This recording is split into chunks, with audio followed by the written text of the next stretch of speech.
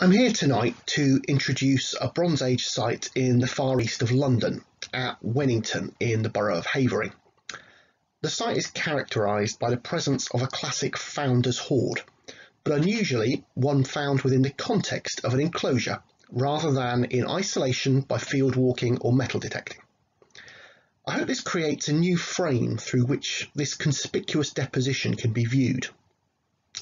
When thinking about how to present the site, I kept being drawn back to the visual aesthetic, the shiny reflective surfaces of the original bronze items, and how bright they must have looked in an otherwise very naturalistic landscape of marshy greens and browns. This was rather emphasised by the glaring sunrises and sunsets over the former marshes, extending to the west of the site and captured here in a couple of very artistic photographs. In seeking visual analogies for this, I kept hitting upon a late 19th century painting entitled Sunset Over the Marsh by Martin Johnson Heade, which characterises the artistic movement of luminism, which focused on the effects of light on the landscape. I promise this isn't a massive deviation from prehistory, but I hope to demonstrate that is the setting of this site and its relationship to river and marsh, as well as specific depositional context that will allow us to add fresh evidence to how we consider founders' hoards. So overtly, I may talk a lot about metalwork, which is not my natural environment, but I think the site provides both a natural and historic stage, both literally and figuratively given its very square prominent shape, upon which the hoard is the sole surviving character that we can interrogate.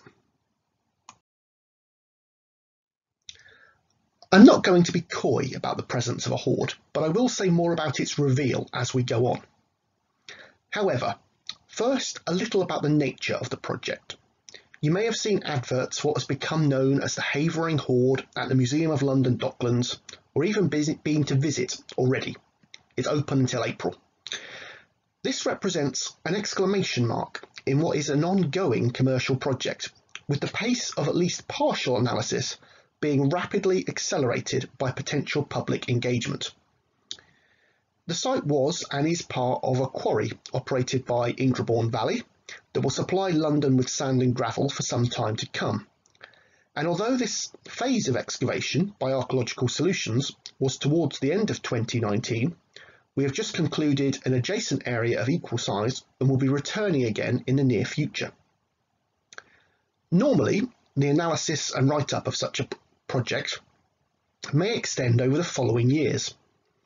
But after a visit from Roy Stephenson, acting as a champion of Museum of London exhibitions, and in coordination with Adam Single of the Greater London Archaeological Advisory Service, as well as members of the Portable Antiquities Scheme and Historic England, the post-excavation process was reshaped and targeted to be driven by the design and opening of this exhibition, rather than the typical progress towards an archaeological publication, which will come.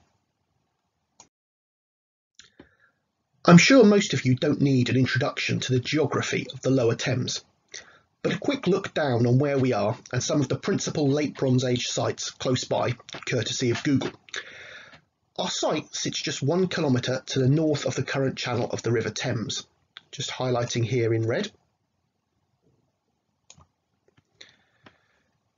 It's a short distance to the south of late Bronze Age settlements at South Hornchurch, Hunts Hill Farm and Hackden.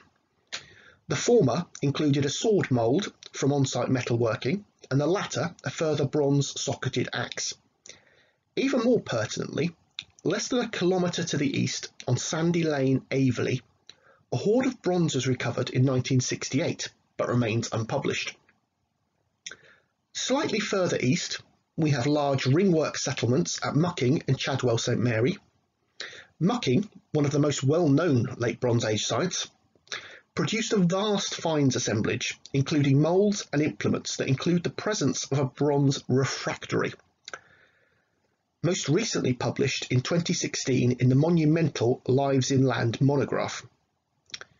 The ringwork at Chadwell St Mary, published this year in BAR 654, produced an extensive post-Deverel Rimbury pottery assemblage, the principal type of late Bronze Age pottery, and characteristic perforated clay plates, but curiously no metalwork. These London gravels must now be one of the most well-explored prehistoric landscape zones in the country, mainly due to mineral extraction. So, it is abundantly clear and well established that we are in the middle of a fairly densely populated for the period landscape. It's aligned along the resources provided by the lower Thames, most notably the access provided by the rivers and estuaries that extend to the coastlines of Essex and Kent. This is most aptly demonstrated by this map, lifted from Timothy Champion's paper on the characteristic perforated clay plates found on so many sites in the region, including this one. They appear a common domestic component, possibly associated with ovens and baking, food drying or curing, and possibly even salt production, but almost certainly not metalworking. I've also marked on Broomfield Chelmsford to the north, part of this settlement distribution, because it has an enclosure that I'll come to for comparison shortly. The gravel terraces that attract mineral extraction today were equally favourable for late Bronze Age settlement. This geological plan illustrates how the site at Wennington is situated on the projection of those gravels overlooking former alluvium that is derived from the now drained marshes that once bordered the river. The common watercourse and Mardyke are situated to the northwest and southeast, and narrow spurs of alluvium either side of the site suggest it was hemmed in by further inlets. Here and here. The result is that the site was likely enclosed on three sides by natural barriers with a terrestrial facade and accessed from the northeast. Very swiftly, to demonstrate the impact of the former marsh and how much of a shoreline, natural resource and barrier it may have provided, I'm going to show this 1770 map. It's clear habitation off the gravel terraces was not an option or at least not a pleasant one, even then. And that the river at this point effectively becomes an even wider corridor based around the borders of the marshes, coming through here.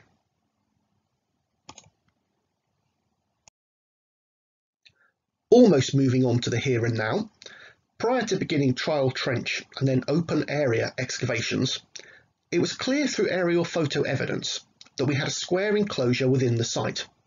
Nonetheless, if you had asked for a prediction, I'd have probably said Iron Age to Roman rather than Late Bronze Age, consistent with many farmsteads also excavated on the gravels. But to what we did find when we stripped the site. Stripping off a wide area revealed a square enclosure corresponding to our crop mark in the southwest corner. Here. Adjacent to the west was a messy arrangement of post-medieval quarry pits exploiting the gravel. Further to the west were a series of field boundaries ranging from Roman to post-medieval. Most pertinently, the gravels were covered by a layer of alluvium in the western half of the site, which combined with the apparent absence of prehistoric features sealed by it, suggests that the marshlands may once have extended very close to the rear of our late Bronze Age enclosure. Zooming in on the enclosure, we can see how it appears when it was cleaned prior to excavation and once it had been fully excavated. The initial methodology was to excavate a 50% sample of the ditch in segments, but as the hoard was discovered fairly early on in this process, it was decided that the entire enclosure would be 100% excavated and sieved. You can see we have a full circuit of the ditch with a single entrance to the east, slightly expanded ditch terminals either side of that entrance, and a cluster of post holes within the centre of the enclosure here. There is also a set of four posts in the centre here, and a further set of four posts just outside the rear of the enclosure here. Both sets of the four posts are significantly more robust than the post holes that form the roundhouse. Elsewhere, post holes and pits are very sparse. Um, a few tree throws may also be contemporary with Bronze Age activity inside the enclosure. Without jumping too far ahead of myself, I've marked the location of the hoard in yellow. But first we can look at the broad structure of this enclosure. We certainly have a single central roundhouse, and on this plan we've postulated that the central four-post structure may have acted as an entranceway to it, here.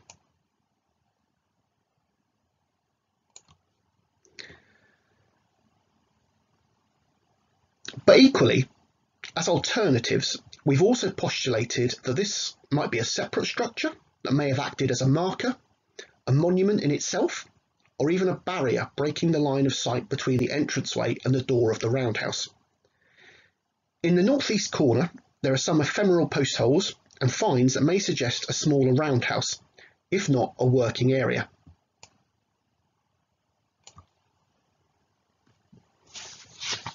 I've also highlighted in pale blue two pits to the north of the enclosure, up here and here, as these contained the highest by far concentrations of prehistoric pottery on the site and likely represent rubbish pits associated with this occupation. This pottery is a great indicator of rubbish deposition, as prehistoric bone survival in the damp and acidic soils was virtually non-existent. Before I delve further, just a quick video clip to provide a further ideal idea of scale for the enclosure. You can see here that we're excavating segments through the ditch before we remove the soil in between to sample 100%. You will also see towards the end one of the four post structures in the foreground, just to give you an idea again of the size of those post holes. The misty cold weather you see here was also fairly typical throughout. The function of the central four-post structure is thrown into greater question when we examine the placement of the four-post structure immediately west of the ditch, both marked here as red squares, while the hoard appears as yellow. Using my fairly crude schematic, we have a clear alignment east-northeast to west-northwest that runs through the entrance of the enclosure, through both the four-post structures, through the roundhouse and the location of the hoard. Intriguingly, the entrance to the enclosure is in the opposite side to the river and the marsh, potentially opening onto a route that would run along the edge of the marshland corridor, leading towards sites such as Mucking to the east. Given the location of the hoard, it is clearly being deposited with relation to the water, but deliberately not in it, suggesting this was not the kind of wet offering in which objects were deliberately disposed of. It also raises the possibility that many bronze items previously recovered from the Thames may not have been deposited in the river but washed out of similar bankside or marshside locations. The component of this that intrigues me the most is not actually the physical hoard, blasphemy to many, but the odd four-post structure outside the enclosure, which is so incongruous.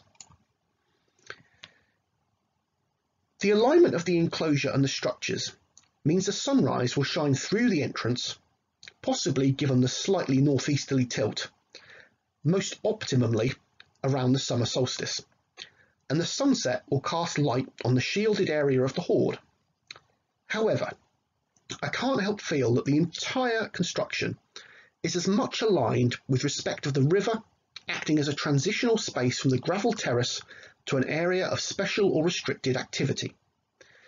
Did the western four-post structure act as a platform, as a marker or shrine, or most speculatively, did it support some kind of access between the roundhouse and marshland, potentially passing over the passing over the hoard?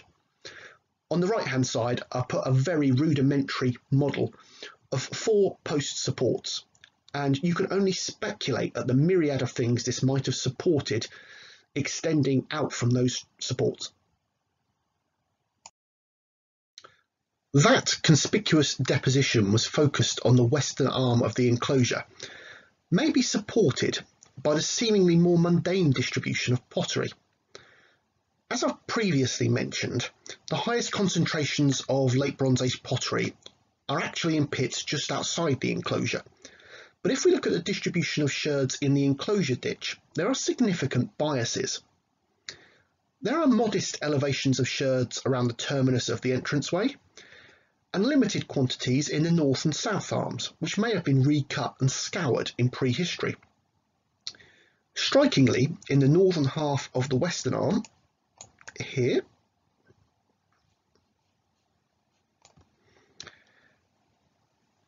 there is a significant concentration of sherds, but only on one side of the hoard and indeed of the roundhouse suggesting that this area was the focal point of domestic or more enigmatic consumption. I'm going to touch very briefly on the nature of the pottery, mainly because unlike the metalwork it will not be fully recorded or analysed until further excavations have been concluded. We have the expected range of late Bronze Age post-Deverel Rimbury vessels, which characterise the period, including Coarse and fine calcined flint-tempered fabrics, a range of bowls, jars and cups with fingernail decoration on the rim or shoulder, occasionally with applied thumb impressed strips on larger jars and often with flint gritted bases.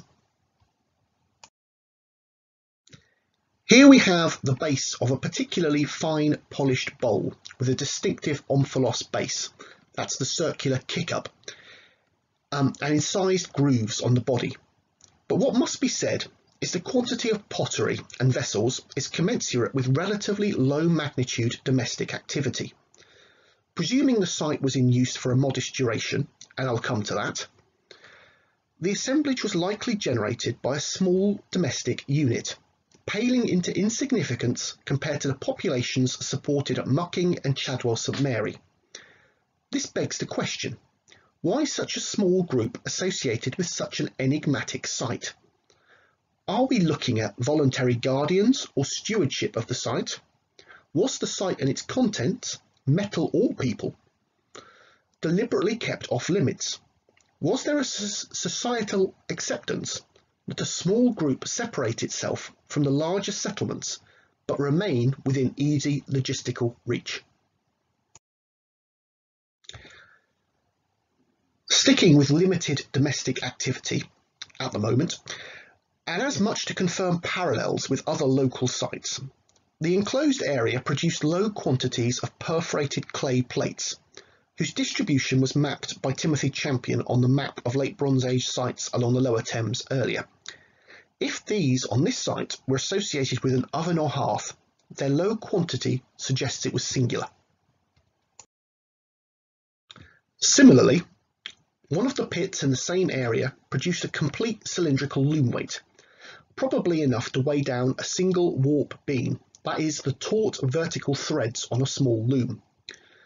More importantly, the survival of these fired clay objects acts as a control sample. Their preservation suggests no other fired clay, such as moulds for bronze objects or other evidence of metalworking, had become so friable and degraded that they did not survive. Therefore, they really are absent despite the large-scale accumulation of bronze. One final enclosure thought before I focus on bronze objects. This is Broomfield, Chelmsford, with a very similar shape, dimensions and principal roundhouse. It has a similar pottery assemblage and clay plates, but no evidence of any bronze deposition. Also, like our enclosure, it is slightly removed from seemingly larger contemporary centres of settlement, namely the ringwork at Springfield Lyons, which includes evidence for a bronze refractory even more substantive than that at Mucking. So might we be seeing a distinction of contained nodes within the landscape with a similar design, or is it merely coincidental that these are small domestic units effectively in orbit to larger centres? They seem a little conspicuously different to me. I spoke earlier about the change in methodology moving to excavate 100% of the enclosure, a rare opportunity in commercial archaeology. This was prompted when the first part of a hoard was narrowly missed by a segment through the enclosure ditch, but the neat vertical section crumbled away to reveal telltale green pieces of bronze. The segment, the original segment marked here in red line, was duly cut back and here you can see where it was taken to to fully expose on that what that day was assumed to be all of a single hoard. As it was assumed to be a single entity, what would become known as Hoard 1 was carefully cleaned and excavated on site due to the typical time constraints of a Friday afternoon in the winter on a large site that could not be secured from the threat of illegal metal detecting. As layers of the hoard were cleaned and removed piece by piece, the scale of even this single deposit increased. You can see here a degree of arrangement in the sorting of objects as they emerge, with a layer of axes at the top of Hoard 1 providing a fantastic image of the hoard. This may evidence sorting as the hoards were accumulated or packed, or possibly just the natural movement of objects as they were carried, but I'll return to that later.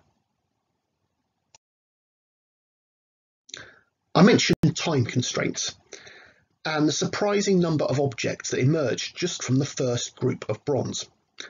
As a winter's afternoon and evening closed in, the objects were meticulously recorded and lifted, with the team continuing to work by torchlight until after 9pm to make sure they had all of the material.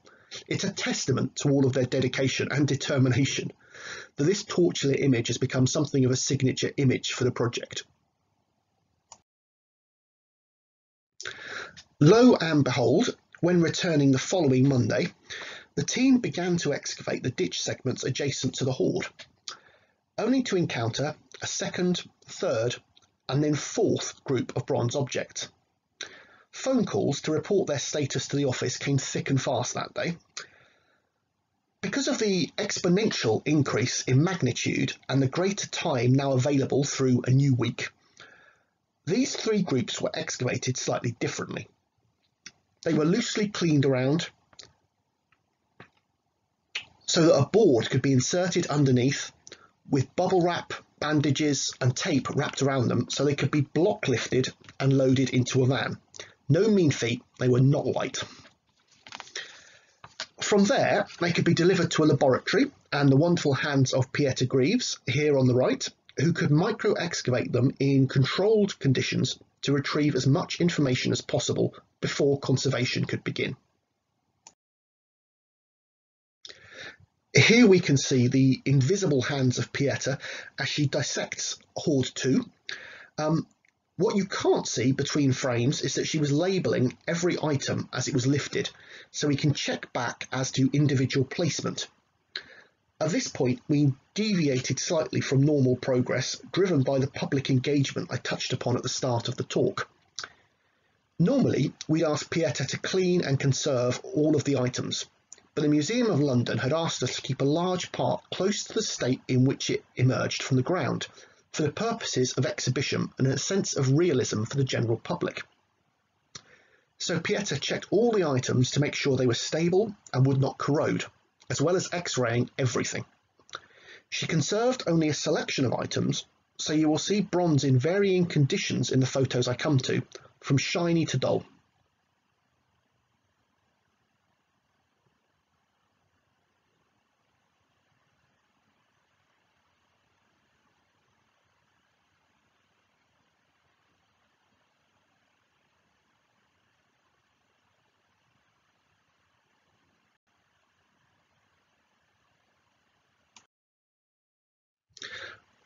So what do the four groups of metal look like once they've been taken apart?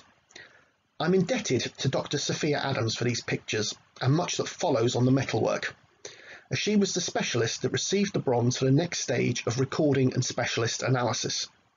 I'm going to summarise some of the salient points of the hoard.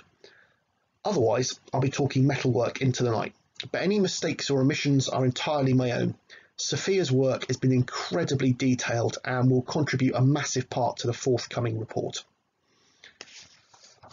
Hoards 1, 2 and 3 are similarly sized, comprising between 122 and 155 items, weighing between 11.1 and 14.3 kilograms, with the weight difference primarily accounted for by the presence of large or smaller fragments of ingots. Hoard 4, in the bottom right, is noticeably smaller, with only 45 items weighing 7.4 kilograms. It was also the uppermost in the ditchsect deposits. It may be that this was the remainder of a single large group after three earlier package of metalwork had already been assembled. Or it may be part of it had been subsequently been re retrieved and removed after the initial deposition. It's also possible that each of the four groups are composite with layers that were themselves accumulated over time in the ditch or prior to burial, perhaps placed together in the roundhouse, but I will explore this more as we go. I'm zooming in on Hoard 1 to illustrate the mix in composition, but I'm going to talk through items lifted from across the hoards. There is a degree of consistency in the specific types of item common across the hoards, with some rarer pieces unique to each group. These place each hoard within the Ewart Park phase of the Late Bronze Age, circa 900 to 800 BC. You will also notice that consistently almost all the items are represented by broken fragments. In fact, Hoard 1 has only 20 complete items out of 131, just 15%, while Hoards 2 to 4 have less than 10 each. And even these complete items are all broken and beyond practical and functional use. Furthermore, despite all attempts there is not a single piece that refits to another in the entire assemblage. Each fragment is from a separate unique item, suggesting in prehistory a very deliberate process of selection, which I will return to in my conclusions. Each hoard is comprised of 30 to 40% axes or pieces thereof, 5 to 10% sword fragments, 2 to 8% spearheads, with the remainder uh, rarer implements and fittings, or ingot fragments and casting waste. In totem, the Havering hoard compares well with the composition of other hoards from southeastern England, such as the Watford hoard in the Ashmolean Museum. However, the deposition of four hoards together remains exceptional, and some of the rarer items have distinctive continental affinities that lead us to look out of the mouth of the River Thames towards northern France. One final eco-fact that must not be overlooked is what sat between the bronze items. As Pieta excavated the block-lifted hoards, it became clear that a significant amount of packing material in the form of straw and grass, possibly reeds, was preserved as mineralised material. Some of the mineralised material was adhering to the surfaces of objects, especially the flat edges of swords. But unfortunately, the mineralization process was too far progressed to allow for C14 dating. The use of packing material raises some vexing questions. Firstly, if it is present, why is there no evidence, mineralized or other, of a container, be it basketry, animal hide, or even wood? Was the packing material introduced as the objects were buried, or earlier? potentially as the packages were assembled, on site in the roundhouse or carried from an outside location. No container would have, made, would have made transport difficult, nigh on impossible, unless the items were tipped out along with the packing material. But if this was the case, they are very neatly formed groups in the ground. The pits they were placed in must have been holes that almost matched the containers in volume and size, that doesn't seem entirely plausible.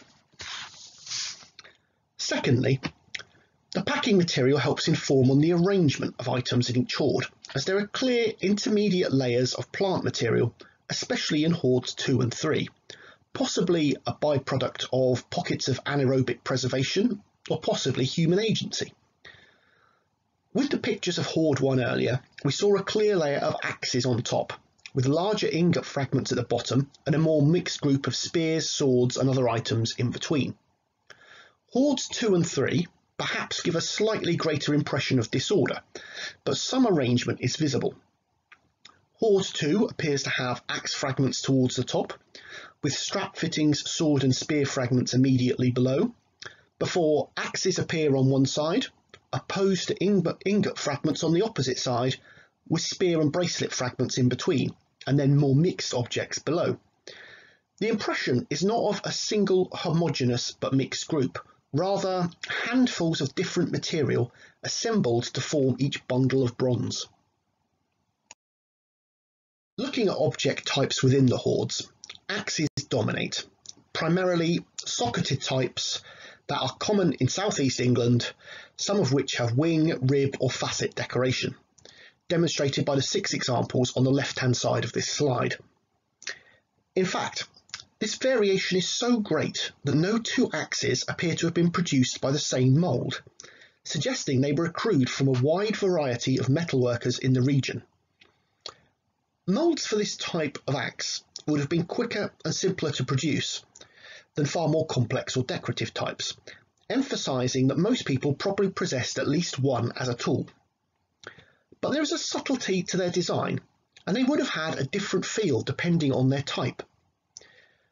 Different examples might have been for different types of woodworking or for different scales of chopping, for example. Sparse other axe types were also present, such as the end-winged axe illustrated here on the right, but they do not contradict the dating of the hoards. All of our axes are broken in some way, and despite some casting seams remaining present, none are new or freshly cast. It's just that there wasn't a focus on aesthetic finishing as there might be for modern objects.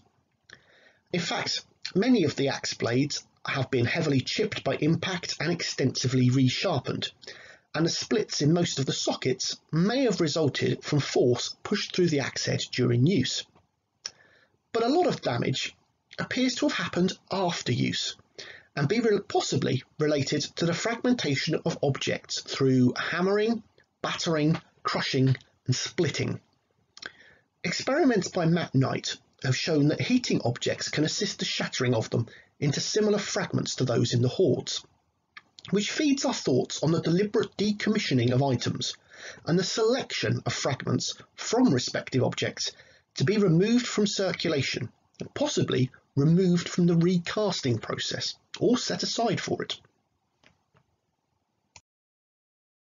Like the swords, the spearheads are all Ewart Park types, primarily flame-shaped socketed types, as the left and centre examples depict. Other types include a hollow bladed tip with small barbs on the right, seems altogether more vicious. Um, many of these also appear deliberately broken, with sockets squashed and hammered or tips snapped across the blade. One spearhead, one of the limited items fully cleaned in conservation, revealed how finely crafted these items could be, quite beyond their primary function. Around the socket was decorated with incised bands, V-shapes and dots that really only would have been visible to the bearer or from very close quarters. This also tells us that the spear was rehafted, as the vacant and presumably unemployed peg hole is decorated with punched holes around it. Whereas the peg hole that's filled with a rivet or pin is not decorated, suggesting that at a later date it was perforated through the lower part of the socket as a new handle was inserted.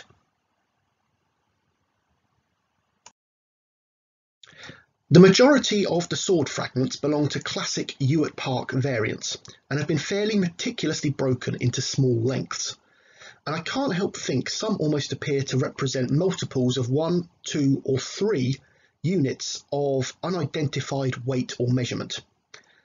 The fracture line on many of these fragments is also often bent and rarely twisted, where pressure has been applied to snap them.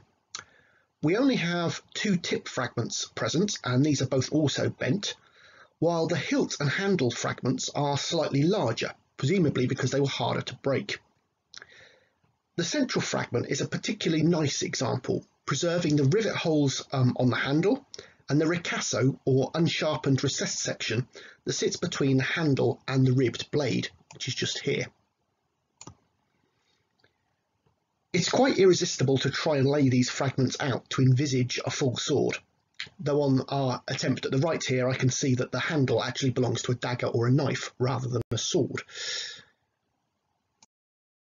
In addition to the Ewart Park types, there are also a few fragments of carp's tongue swords, originally named because it's what they were supposed to look like. They included more elaborate variants, such as this blade with grooved decoration of Vénat type, paralleled in a hoard at Charente in western France. You can see where the fracture of this fragment is also bent from where it was snapped. Um, and similar sword fragments were present in the Borstal hoard in Kent, as well as many others in northern France. Related to the swords in manufacture, Hoard 3 was notable for containing both tanged knives on the left here um, and hogsback knives on the right. You can see the differences in the blade must have been related to very, very different functions. Before I leave weapons, or at least aggressive tools behind, I have to talk about this bag-shaped chape, which would have sealed the end of a scabbard to a sword or knife. It's an exquisite little item that preserves another testament to the fine manufacture of composite weapons and fittings. The small perforation here preserved a very tiny wooden dowel that would have fastened it to leather or cloth. You can see stretched across here the wood with ever such slight splits coming through it, which may in part have been created by the fact that it was sealed in place by a tiny copper pin that was hammered into the wooden dowel to expand it to fit the socket. The copper pin is less than two millimeters wide. It's an exquisite little piece of craftsmanship. Aside from weapons, the hoard included many other bladed implements, both for craft and possibly personal use. This is the only example of a symmetrical double-sided razor in our hoard, alongside a reference example with a V-shaped notch and a central perforation between blades. A fragment of a similar razor was recorded in the Watford hoard, associated with a type of looped back disc also in this hoard that I will come to. Equally sharp, and possibly my favourite implement in this assemblage, are fragments of scythe in hoards 2 and 3. These have a very flat, shallow blade and are typically known as Minnis Bay types after hoards where they were previously been recorded in Kent. The edges are notched and worn, and one has to wonder if they were used for cereals, straw and grasses, or possibly even the marshland reeds that would have abutted our site and served a variety of domestic functions. Also, these have been fractured by bending in exactly the same way as the swords. This incredibly preserved awl is another tool represented by just one example, this time in Hoard 2. It has a very carefully crafted lozenge-like end and may originally have been double-ended, perhaps with a finer point or chisel end at the opposite terminus. It has a square projection from the mid-body, which is not associated with casting, and this might have allowed a handle or similar projection to be affixed to aid in the moving and angling of the awl as you worked. This would have allowed really very fine woodworking. Um, comparable examples are very rare, but are present in the Isle of Harty hoard in Kent. Lingering on woodworking, Hoards 1, 2 and 4 contained gouges that attest to very skilled craftsmanship, be it creating joints, sockets, um, carving or hollowing out wood. Um, these have a robust collar to strengthen the round socket and a very sharp, narrow concave blade that is always slightly notched or worn on the examples that we have. Thinking of what was being crafted in wood, it probably wasn't just structures, but potentially boats and horse-drawn carts, um, wagons and such like. The latter would also have required harnesses um, of rope and leather, while leather would also be used for belts, straps and bags for general occupants. Rare fittings that attest to such harnessing include this loop back disc. Two small loops on the reverse would allow it to be fastened to leather or textile, but it's the bulbous rings on the front that catch the eye. When these were polished, these would really have reflected the light. They would have acted very much like much later medieval and post-medieval horse brasses, visually quite stunning. One of the highlights of the bronze items speaks further of horses, and it is a pair of rein rings, known as terret rings, with one complete example in Hoard 3 and another fragmented in Hoard 2. These were designed to prevent the reins tangling on a cart or even a chariot-like vehicle. Currently, no other examples are known in late Bronze Age hoards in Britain, although similar terret rings are present in hoards from La Chapelle in Normandy and Charente in western France, highlighting continental connections, trade and possibly even craftsmen moving over the North Sea. Such unusual items would have been deemed precious to remove from circulation, especially as they appear to have been a complete pair, possibly deliberately broken or decommissioned, smashed before deposition. One must speculate if they were voluntarily given exacted or taken? Was the associated vehicle processional or even connected to the movement of goods, people or vessels from the highway along the marshes, from the highway of the river, through the marsh to specific landing sites? Aside from people and power and craft, what might have been landed with such merit? The hoards contain significant quantities of bun-shaped ingots, all deliberately broken up, with the largest weighing 1.9 kilograms. These are formed of copper cake from the base of a furnace, and there's certainly no smelting on our site. They may have been imported from Wales, Cheshire, the southwest of Britain, even continental sources such as Spain or the Alpine region of Central Europe. Future scientific analysis may determine sources, but it seems certain that not all of our ingot fragments came from a single source. Bronze Age specialists continue to debate the trade and supply of raw materials and their social context, but here we have a substantive presence of ingots on a site at least superficially disassociated with the smelting or casting of bronze. The apparent absence of evidence for at least the casting of bronze within our enclosure is at odds with the presence of casting waste that has been accumulated and deposited within all of the hoards. They include jets, sprues and runs that have occurred as molten bronze was poured into a mould and rose up, spilling out of the casting gate. So we must question, where did it come from and why? Clearly it still had material value and could be recast.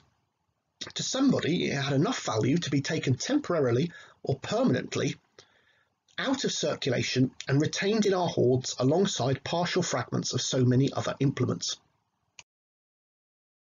Before I try and bring together the site and hoard, one final bronze item.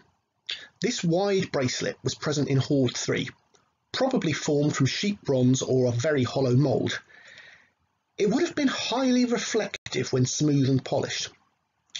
Like our terret rings, this is not a typically British item and is paralleled in a hoard in Cher in the Loire region of central France.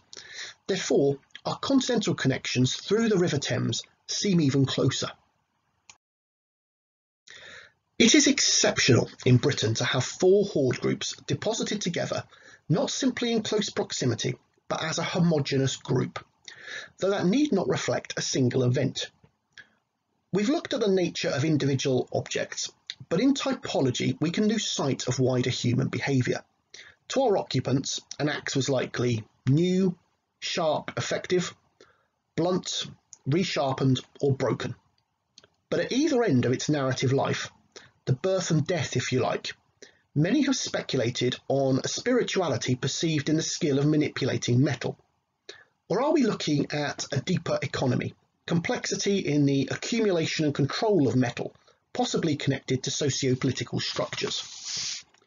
Firstly, the simple behaviours that are evident. The hoard was placed in four parts, seemingly in a single pit or depression within a partially silted up enclosure ditch. The relative consistency of each part indicates they were broadly contemporary, but we can't be sure if they were deposited on the same day, week or season, especially as, for certain or conclusively, no two fragments join with one another. However, the way the four parts are spaced out, about a metre between them, is enough for a single person to stand on a known spot and have the hoards passed down to them. Even more conceivable if the location was marked or accessed by a platform or structure. And here once again I think of our mysterious four post structures. Each hoard could be lifted and carried by a single person, but you wouldn't want to carry them far. I'm also still nagged about the presence of mineralised packing material, but no evidence of any form of organic container. And does the possible degree of sorting within the hoards indicate each part was not deposited as one, but was built up over a period? Packing could be added as they went, no matter whether the hoard was actually assembled within the ditch or within the roundhouse or further afield. This brings me to possibly the one question that challenges the way we might perceive the enclosure and the placement of hoards within its own narrative.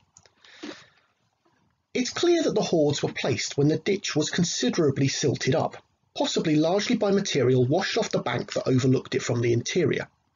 Thus the hoards were only placed about halfway up the depth of the ditch, if we assume where ground level was, with one even slightly cut into the bank. The immediate conclusion drawn from this, and one fitting some schools of thought on hoard deposition, is that this was a closure deposit, the ritualistic disposal of a conspicuous quantity of material as an offering or to deliberately remove it permanently from circulation. I was never entirely happy with this, partly because given the location, if you want to achieve a dramatic episode of disposal, why not use the river or marsh? But perhaps it related to the enclosure as a specific space. So I'll give it a chance. It continued to nag me how I might postulate a reframing of this. One comment by a member of the excavation team, Anna Zupancic, prompted me to formulate an alternative theory rather than regurgitating varying theories on hoard deposition well established by my peers and betters who study the Bronze Age and metalwork.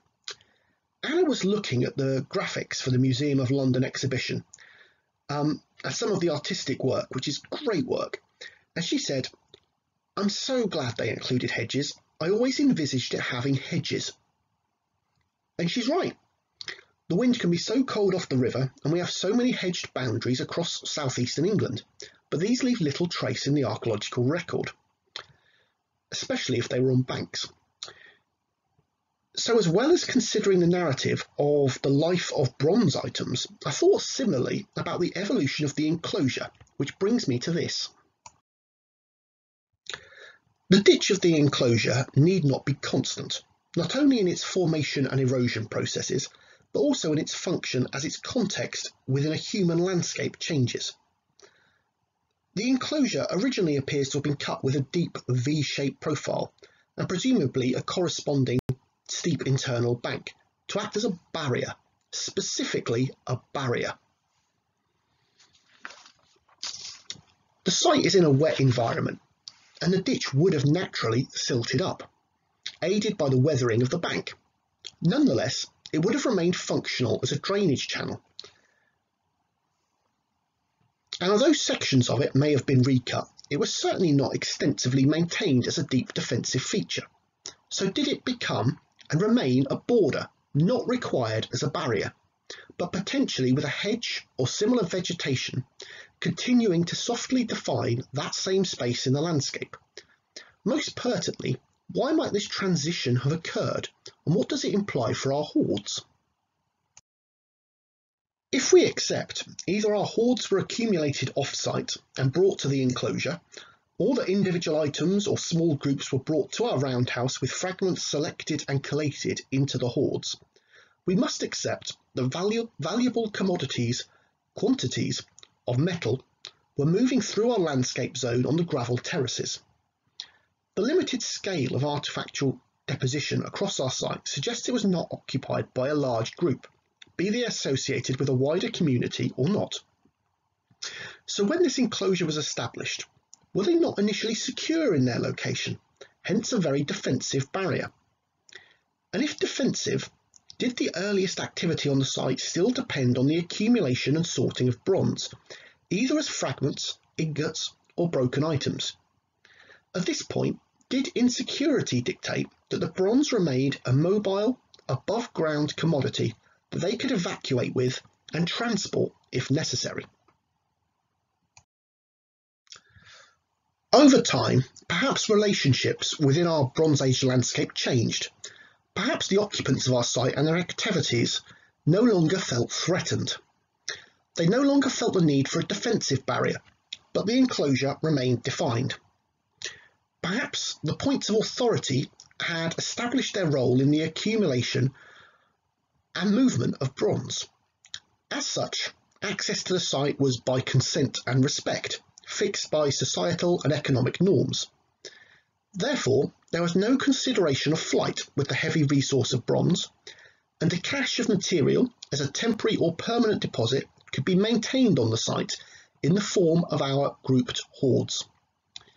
This may chime with the location of the hoards in the seemingly most restricted area of the site, physically and visually blocked from the entrance and seemingly enclosed on three sides by natural areas of wetness. To conclude, perhaps we can speculate on models of activity that flowed through our enclosure and created a transition or output that was our hoard deposition. These are purely speculative, and of two models, parts of both may be true. But it is these that I believe reframe how we consider late Bronze Age hoard deposition, at least on this site. My first model works on the basis that only the final stages of accumulation and hoard deposition occurred within our enclosure. The left-hand column is simply the accepted first creation and lifespan of a bronze implement. We can postulate that our occupants acted as mobile carriers of bronze in a given territory, travelling between population centres and settlements, perhaps periodically or on constant rotation. Obviously, anyone could own a bronze tool, but was the supply and surplus of raw and finished materials controlled? Was this by restriction of knowledge where only a select few could cast and recast bronze? With moulds made and deposited on sites separate from where the raw material was stored. Perhaps once an item was broken or there was surplus material from casting them, the material was returned to a specific individual or group, which need not be those that actually cast the bronze, and who may equally have been under control. If so, was the trade, casting, and effectively banking of bronze also carefully controlled that these processes were kept separate, cordoned off from settlements by those in authority. An extension of this is that access to the enclosure was restricted by behaviour or belief, and that in collecting material that has either been systematically or functionally broken or was surplus, they were returning the bronze to a sacred space. The enclosure may have been viewed as both a shrine and reserve of material that was overseen by the occupants, though on whose behalf, if not their own, is open to conjecture. If we accept social political power had a role in the control of bronze, and it seems unavoidable without being too capitalistic, was the collection of material effectively a tax? And were our occupants motivated or mobilised to travel around settlements with the collection of fragments taken from items as a tribute or payment. This may have contributed to the wealth of a ruling group or on a more spiritual level as an offering to those representing a belief system, a valuable commodity in either sphere. Did the officious or ceremonial roles of our occupants involve travelling out to oversee the breaking of objects and equally dedicating themselves to the rites of depositing material or hoards, or even praying to that material. My second proposition is a shift in location, but not the activities and roles I have just speculated upon. Rather than having the enclosure as a restricted space, perhaps it was a central node in a network of settlements and routeways that punctuated the landscape of the lower Thames. All of the potential officious or sacred tasks may remain valid, but did individuals or groups from the various larger settlements and farmsteads seek out and travel to our enclosure? Did they bring bronze items to be broken or fragments to contribute to offerings or reserves that were communal or claimed by authority. Perhaps they brought items to the site which were broken, so a piece could be retained and the remainder was blessed or permitted to be recast. It seems quite feasible that our roundhouse could have acted as a sorting centre in which material was quantified or inspected, much like my desk when people bring me archaeological artefacts. Given the alignment and arrangement of the site and hoard, I would speculate the Hoard groups resided in a restricted space. Perhaps when the business of fragment selection had been completed and the supplicants departed, there was a process or ritual of deposition, maybe at sunset. I can also envisage the Hoard groups acting as a cache of material, in a sense returning to the idea of a founder's hoard. Perhaps bronze was redistributed from our roundhouse with an offering removed for the hoard. Or perhaps the hoards were not intended as a permanent deposit, but are the resource from which raw material could be bartered or requested, to be taken forth to a settlement where an artisan could recast it. I can't offer a definitive role for the striking collection of four hoards, the Havering Hoard. but I hope these results allow us to reframe how many seemingly isolated hoards might be reconsidered in a narrative. As a parting note, um, I really do have to make just a quick few thank yous to and acknowledgements to those that have made this project happen. Um, to Andy Clark and Ingrebourne Valley for funding the excavation, to Claire Halpin and Archaeological Solutions for undertaking the excavation, in particular Joe Locke and all of the excavation team for all their very hard work on site, um, special thanks are due to Pieta Greaves and Sophia Adams for their work on conservation and metalwork analysis, respectively. It would also be remiss not to say it's been absolutely inspirational to collaborate with Kate Sumnall and all of her colleagues at the Museum of London in the development of the exhibition on the Havering Hoard. Please go and visit if you can. Um, they have created a wonderful vision of late Bronze Age society. Um, to engage with the public and bring this to a whole different life, um, yeah, please go to Docklands and visit. Lastly, um, thank you all for listening and especially to the Committee of LAMAS for organising tonight. It's been a pleasure.